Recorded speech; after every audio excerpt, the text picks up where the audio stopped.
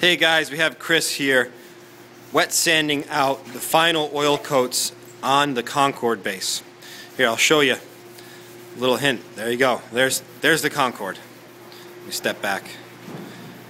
Chris, can you turn it down a little bit? Yeah, I gotta, let me get a close up of how cool this top is. Look at that. Can I see the back real quick? Can you see the flame? The fluorescent lighting above makes it hard. Turn it towards you a little. There, please, thank you. We've got the outside linings, the Prescott style button, and then we've got the scroll back here. Obviously, Chris has to rub this out still, and we get this little chamfer by the scroll here. Absolutely excited about this bass. This is uh, for a customer, Joe Wheeler. Can't wait to play it. It's very much so a Brescian bass, just with some, you know, obviously aesthetic changes.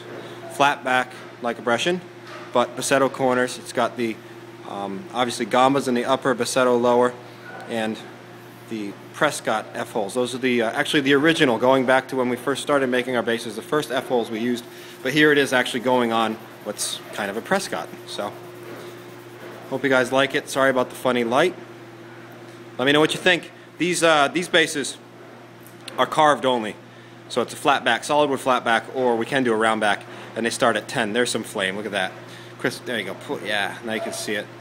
Um, this bass starts at 10. It's not available as a hybrid or a plywood, um, but love to make one for anyone out there. This is a, if you're, if you're an appreciator of uh, old Yankee basses, this is it.